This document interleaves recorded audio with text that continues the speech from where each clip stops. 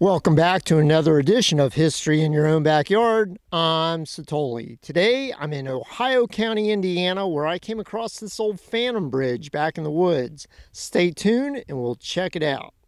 Before we talk about this old bridge, let's talk about what defines a ghost road and a phantom bridge. A ghost road is a roadway that was once owned or is currently owned by the county. This road originally carried traffic on a daily basis, but over the years, the county may have chosen to no longer maintain the road or close it completely. The road may now be private property or could still be owned by the county. A phantom bridge is a span that was once used on a daily basis to cross a body of water, such as a stream or a creek. A phantom bridge is always located on a ghost road and can be one of the ultimate finds during a road tour. Phantom bridges were usually bypassed after the current roadway was realigned. A phantom bridge can usually be located near a bridge currently in use.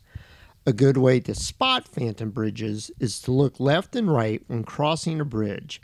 Sometimes these bridges may be up to 100 yards up or downstream from the current bridge location.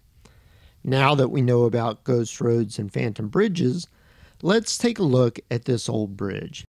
About a mile and a half west of US Route 56 on Hartford Pike in Ohio County, Indiana, you'll cross a small creek by way of a modern concrete bridge. However, to your left, you'll notice a one lane road going off into the brush. That one lane road was the original Hartford Pike up until about 1985 when the road was realigned and bypassed this single lane bridge. I'm not sure when the original bridge was built, but I'm guessing in the 1930s. It has steel beams running the length of the span with a wooden floor that is now rotted out and falling apart. The bridge sits on stone bridge abutments and doesn't appear to have ever had any guardrails. You have to wonder if anyone accidentally drove off the side and into the creek at some point. The bridge can barely be seen in the winter when the vegetation has died back and is totally hidden during the summer. This is one of many phantom bridges hiding in plain sight throughout Indiana.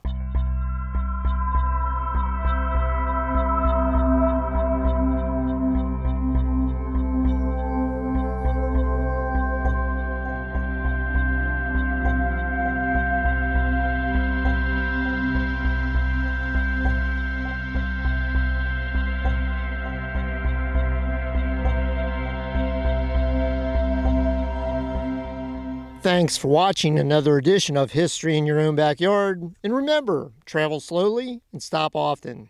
I'll see you next time.